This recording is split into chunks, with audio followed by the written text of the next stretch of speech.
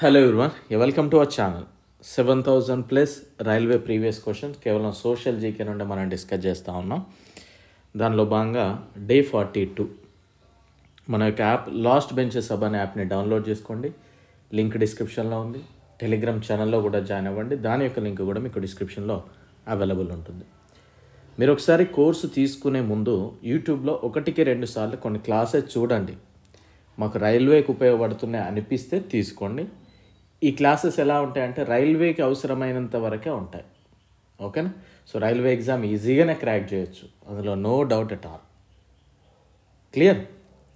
So day forty two కొన్ని questions అయితే చూడడానికి ప్రయత్నం చేద్దాం. ఈ క్వశ్చన్స్ ఆన్సర్ చెప్పేటప్పుడు అబ్జర్వ్ చేయండి. ఎగ్జామినర్ ఏ ఆప్షన్స్ ఇస్తూ ఉన్నాడు అనేది. కొన్నిసార్లు ఎగ్జామినర్ మనల్ని కన్ఫ్యూజ్ చేయడానికి డిఫరెంట్గా ఆప్షన్స్ కూడా ఇవ్వడం జరుగుతూ ఉంటుంది. సో మీరు అది కూడా దృష్టిలో పెట్టుకోవాలి. ఓకేనా? సో కొన్ని క్వశ్చన్స్ మనకి ఏ బుక్లో దొరకవు బట్ ఎగ్జామినర్ అడుగుతాడు. ఓకే? సో అలాంటప్పుడు ఏం చేయాలంటే మనకి ప్రీవియస్ పేపర్స్ వల్ల చాలా బెనిఫిట్ అనేది ఉంటుంది. సో ఫస్ట్ క్వశ్చన్ చూద్దాం. Thousand twenty six question subsidiary alliance doctrine of lapse ద్వంద్వ ప్రభుత్వ వ్యవస్థను మరియు పర్మనెంట్ సెటిల్మెంట్లలో ఏది మొదటి స్థానంలో నిలిచింది? Which among subsidiary alliance doctrine of lapse dual government and permanent settlement came first. అంటే ఏది ముందుగా రావడం జరిగింది అనేది క్వశ్చన్. సో ఈ క్వశ్చన్ తెలియాలంటే మనకు ఆన్సర్స్ ఏం తెలియాలి?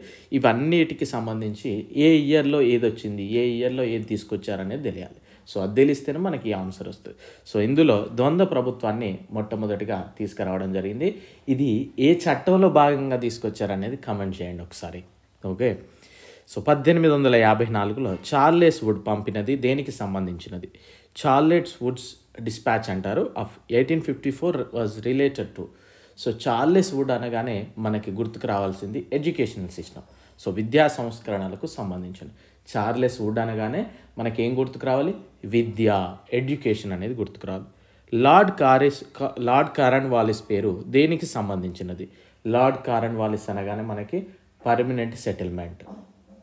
పర్మనెంట్ సెటిల్మెంట్ విధానం అనేది గుర్తుకు రావాలి. కొన్నిసార్లు English to Telugu translate mistake ఉంటుంది. మీరు అబ్జర్వ్ చేయండి. ఎక్కడైనా మిస్టేక్ అనిపిస్తే నాకు ఇన్ఫామ్ చేయండి. భారతదేశంలో ఏ చట్టం ద్వారా మతపరమైన ఓటర్లను అమలు చేశారు? By which act was the communal electorates implemented in India? పంతొమ్మిది వందల తొమ్మిది చట్టంలో భాగంగా ఈ మతపరమైన ఓటర్లకు సంబంధించి తీసుకొచ్చారు. ఈ పంతొమ్మిది వందల తొమ్మిది యాక్ట్నే ఇంకొక పేరుతో పిలుస్తారు. అది రెండు సంస్కరణల పేర్లు ఉంటాయి. అందులో ఒక సంస్కరణకి సంబంధించిన యాక్ట్. ఏంటనేది చెప్పండి. వేదాలు సంపూర్ణ సాహిత్యాన్ని కలిగి ఉన్నాయి అనేవారు చెప్పారు. Who said Vedas contain absolute truth ఎవరండి? స్వామి దయానంద సరస్వతి. స్వామి దయానంద. రాజా రామ్మోహన్ రాయ్ ఆధునిక విద్యను సమర్థించారు. ఎందుకంటే Raja Rammohan Roy advocated modern education because ఈయన ఎవరు? సోషల్ రిఫార్మర్ సాంఘిక సంస్కర్త. సో ఈయన ఎడ్యుకేషనల్ సిస్టమ్ని ఎందుకు ఎంకరేజ్ చేశాడు అంటే డెఫినెట్లీ కొత్త విధానాలు వచ్చినప్పుడు కొంచెం డెవలప్ అనేది జరుగుతుంది కదా. సో ఆ ఆ విధంగా ఇది దృష్టిలో పెట్టుకొని అయితే ఈయన ఓకే చేయడం జరిగింది. సో దానికి డిఫరెంట్గా ఆన్సర్ ఏంటంటే ఇది ప్రజలకు సామాజిక హోదాని ఇచ్చింది. అందరూ మంచి చదివి చదివారు అనుకోండి అందరూ ఈక్వల్ అనే హోదా వస్తుందనే ఆలోచనతో.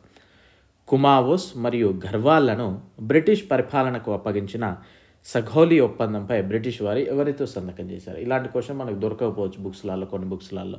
సో బట్ ఎగ్జామినర్ అడిగాడు with whom did the British sign the treaty of Sugauli as a result of which Kumaon and Garhwal were ceded to the British administration the Gorkhas గుర్కాలతో సంతకం అయితే జరిగింది ఇక్కడ ఇండియన్ నేషనల్ కాంగ్రెస్ మొదటి session కాలం ఎవరి కాలంలో జరిగింది during whose time did the first session of the Indian National Congress take place Lord Dufferin so ఇక్కడ ఇండియన్ నేషనల్ కాంగ్రెస్ వచ్చింది కనుక కొన్ని క్వశ్చన్స్ అడుగుతా మీరు చెప్పండి. ఓకేనా సో మొట్టమొదటి భారత జాతీయ కాంగ్రెస్ సమావేశం ఎక్కడ జరిగింది? దానికి అధ్యక్షత వహించారు. ఇది ఫస్ట్ క్వశ్చన్. ఎంతమంది సభ్యులు హాజరయ్యారు? ఇది కూడా చెప్పండి. And at the same time మొట్టమొదటి ఆంగ్లేయతర ఆంగ్లేయ ఇండియన్ నేషనల్ కాంగ్రెస్ ప్రెసిడెంట్ ఎవరు? మొట్టమొదటి Muslim Indian National Congress president ఎవరు? మొట్టమొదటి మహిళా ప్రెసిడెంట్ ఎవరు? మొట్టమొదటి భారతీయ మహిళా ప్రెసిడెంట్ ఎవరు? మహాత్మా గాంధీ ఎన్నిసార్లు ఇండియన్ నేషనల్ కాంగ్రెస్కే ప్రెసిడెంట్గా వ్యవహరించారు. అది ఏ సమావేశంలో? And at the same time మితవాదులు అతివాదులు ఏ సమావేశంలో విడిపోయారు? ఆ టైంలో ఇండియన్ నేషనల్ కాంగ్రెస్ ప్రెసిడెంట్ ఎవరు? అండ్ ఏ సమయంలో కలిశారు? ఏ సమావేశంలో కలిశారు? And at the same time ఆ టైంలో ఎవరు ఇండియన్ నేషనల్ కాంగ్రెస్ ప్రెసిడెంట్? ఇలా ఒక పది క్వశ్చన్స్ ఆన్సర్ చెప్పండి. ఇలా మనం రివిజన్ చేసుకోవాలి ఎప్పుడు కూడా.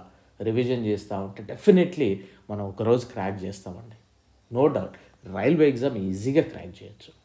ఓకేనా మా కాకపోతే కొద్ది మందికి అతి ఓవర్ కాన్ఫిడెంట్ వల్ల. ఓవర్ కాన్ఫిడెంట్ వల్ల అవసరమైనది చదవకుండా పనికి మాలిందంతా చదువుతారు. నేను చాలామంది స్టూడెంట్స్ డౌట్స్ అడుగుతూ ఉంటే నాకు ఐడియా వస్తుంది. ఆహా వీనికి ఓవర్ ఉన్నది కొద్దిగా.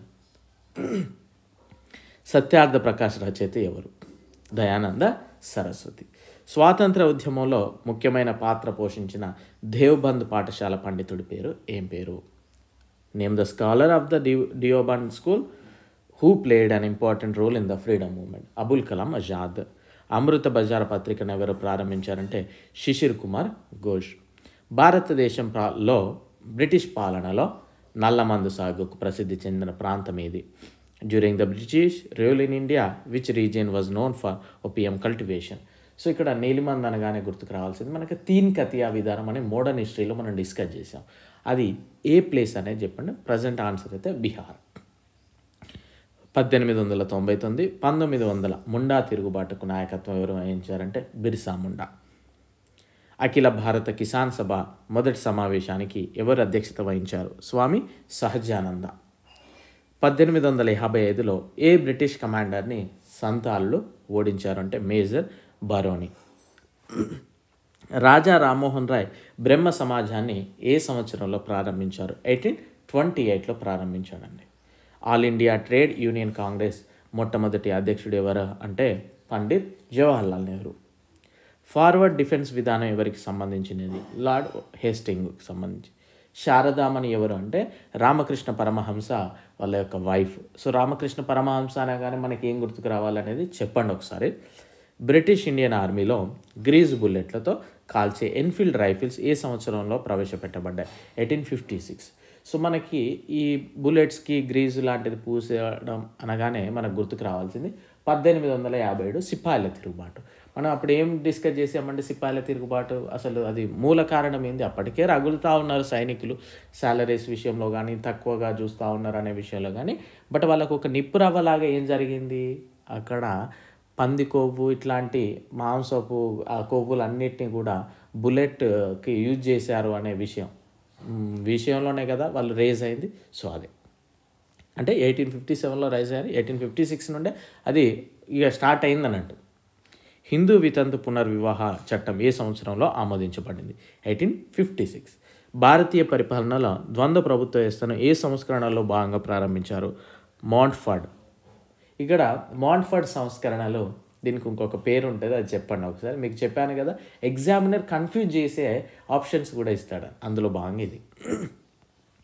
హంటర్ కమిషన్ నివేదిక దేని అభివృద్ధిపై ప్రత్యేక దృష్టి పెట్టిందంటే ప్రైమరీ ఎడ్యుకేషన్ సిస్టమ్ పైన పెట్టింది. హంటర్ కమిషన్ అనగానే మనకు ఇంకొకటి గుర్తుకు రావాలి. జలియన్ వాలాబాగ్ ఘటన టైంలో కూడా మనం దీని గురించి విన్నాం మనం.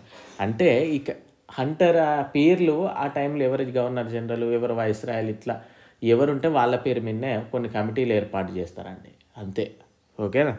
భారతదేశంలో ఎలక్ట్రిక్ రైళ్ళ ఆవిరి ఆపరేషన్ ఏ సంవత్సరంలో ప్రారంభమైందంటే నైన్టీన్ ట్వంటీ ఫైవ్.